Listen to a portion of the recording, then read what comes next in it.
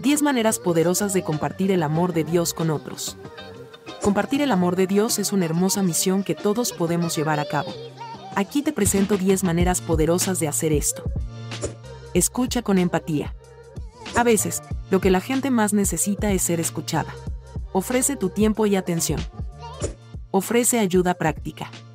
Un gesto de amor simple, como ayudar a un vecino o llevarle comida a alguien en necesidad, puede reflejar el amor de Dios. Comparte tu testimonio. Habla sobre cómo Dios ha trabajado en tu vida. Tu historia puede inspirar a otros. Con tu ejemplo puedes dar a conocer el lindo y deseable amor de Dios. Envía nota de aliento. Un mensaje escrito a mano o un texto puede alegrar el día de alguien y hacerle sentir amado. Organiza reuniones de oración. Invita a amigos y familiares a orar juntos, fortaleciendo su fe y unidad en Cristo. Sirve en tu comunidad. Involúcrate en proyectos de servicio comunitario. Eso demuestra el amor de Dios a través de obras. Brinda apoyo emocional.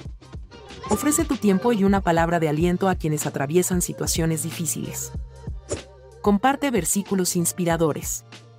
Envía citas bíblicas y de santos que te inspiren a tus seres queridos. Puede ser una fuente de consuelo y motivación. Sé un modelo a seguir. Vive tu fe de manera auténtica tu comportamiento puede hablar más fuerte que las palabras. Invita a otros a la iglesia. Ofrece llevar a alguien a la misa, confesión o actividad.